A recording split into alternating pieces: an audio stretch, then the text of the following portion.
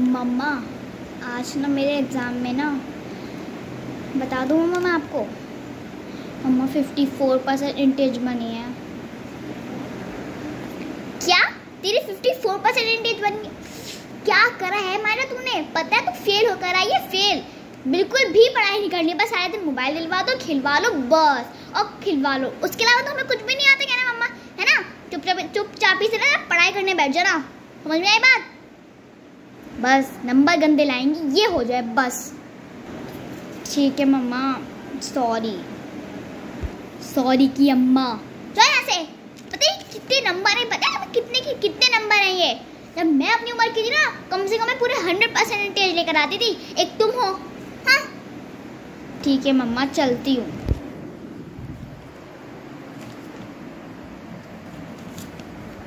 पता नहीं मम्मा ने 54 परसेंटेज पे क्यों डाटा?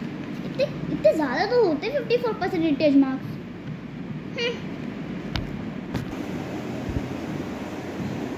मम्मा, आज ना मैं कम से कम 54 परसेंटेज मार्क्स लाई हूँ।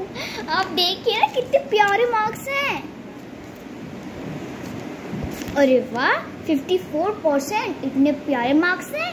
वाह, कितने प्यारे परसेंट होती चाहिए। पता है हंड्रेड नाइन्टी नाइन मार्क्स कितने गंदे मार्क्स होते हैं। लेकिन तुम देखो कितनी प्यारे मार्क्स हैं मेरी बेटी के। ऐसी कोशिश करना कि और मेहनत करो। अब तो तुम्हारे बेटा तो अभी क्या बनी अभी हाँ तुम्हारी शायद से वो बनी है फिफ्टी टू है ना? जो भी बनी है। लेकिन अब फिफ्टी टू में अब ट्वेंटी फाइव मार्क्स लेकर आना। ठीक है? और नाम रोशन हो गया मेरा।